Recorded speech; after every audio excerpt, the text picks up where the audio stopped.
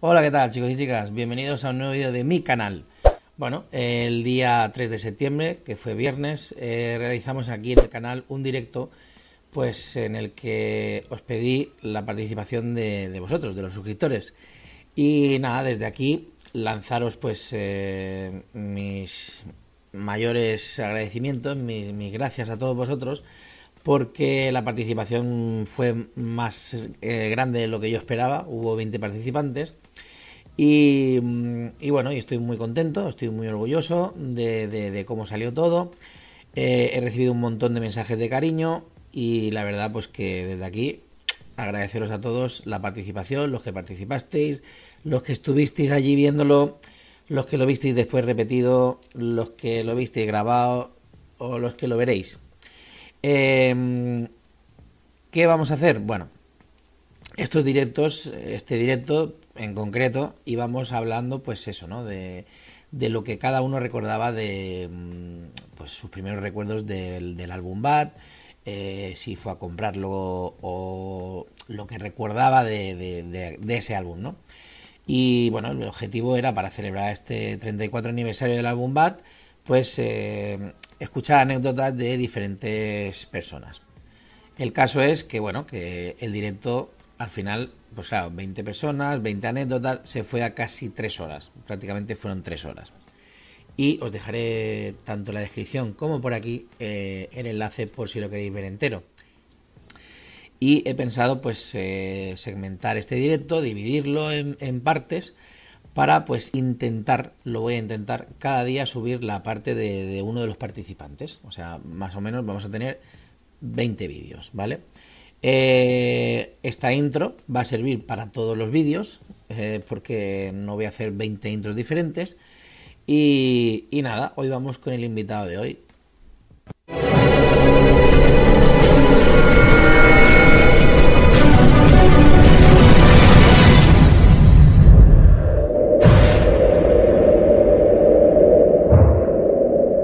Bueno, la anécdota de hoy es otra chica de México que me envió también eh, su, texto.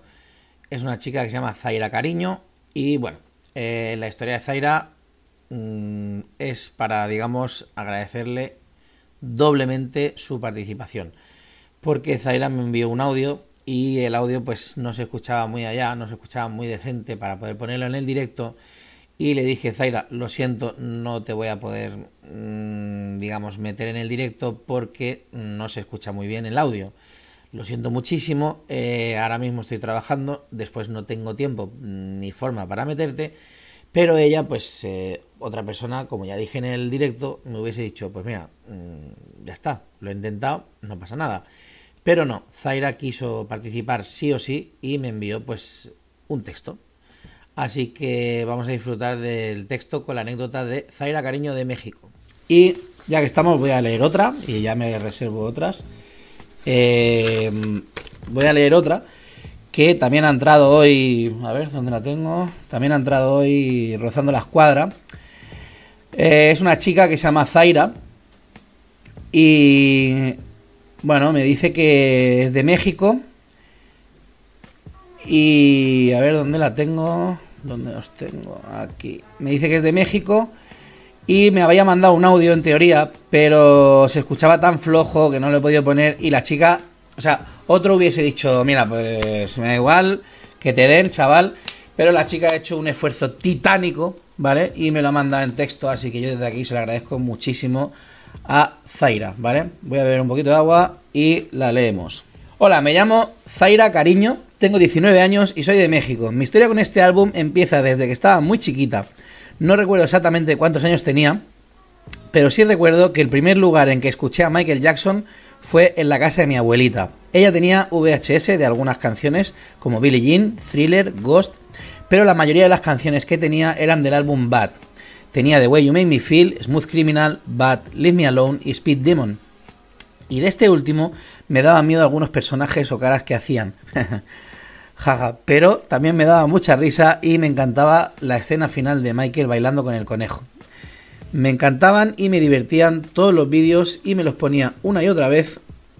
Me pasaba todo el día viendo, viendo los vídeos de Michael Jackson.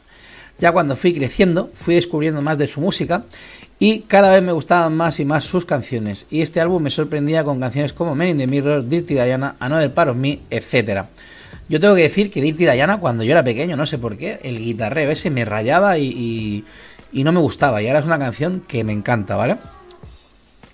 Este álbum tiene muy buenas canciones. Podría decirse que este es mi álbum favorito por la música los vídeos, las letras y por los recuerdos, ya que al escuchar estas canciones me llevan a la casa de mi abuelita. Y eso es algo que aprecio mucho y siento muy bonito. Qué, qué, bonito, la verdad que es muy bonito, sí. Eh, porque me imagino que, por, como lo cuenta, eh, su abuelita ya no... Bueno, aquí hago un breve paréntesis para comunicar que Zaira se puso en contacto conmigo y me dijo que su abuela aún vive, que como lo contó sonaba así, pero que afortunadamente su abuela aún vive. Todos sus álbumes me encantan, pero este me genera esos recuerdos muy bonitos. También recuerdo que ella tenía la película de Moonwalker y esa también me gustaba muchísimo. Y tengo escenas muy presentes a pesar de que ya tengo muchos años de no ver la película. Jaja. Y bueno, esa sería mi historia con este álbum. Muchas gracias. Pues como digo, muchas gracias a, a Zaira porque ha hecho un esfuerzo, como digo, titánico, una historia muy bonita.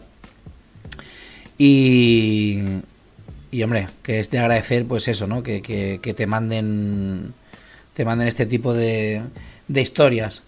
A ver, ya hemos leído dos historias, vamos a leeros. Bueno, amigos, y hasta aquí pues la anécdota de hoy, o las anécdotas de hoy, porque estoy utilizando, igual que he dicho que iba a utilizar la misma coletilla para el inicio, estoy utilizando la misma coletilla para el final.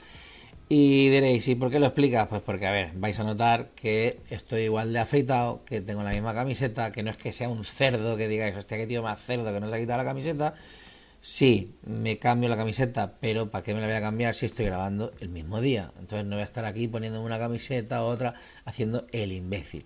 Esto es para que veáis la magia de YouTube. Os lo estoy mostrando.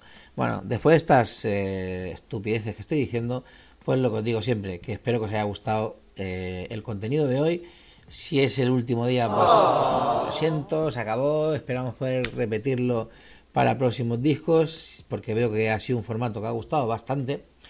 Y nada, lo que digo siempre, eh, que me petéis aquí la caja de comentarios, que si no estáis suscritos os suscribáis, que eso me ayuda mucho, que activéis la campanita, las notificaciones, que eso es súper importante para que sepáis cuando tenemos nuevo contenido.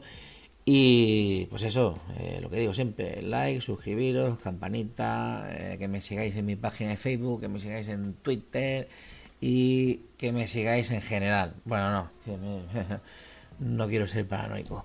Así que nada chicos, nos vemos en siguientes apariciones de videos. Hasta luego.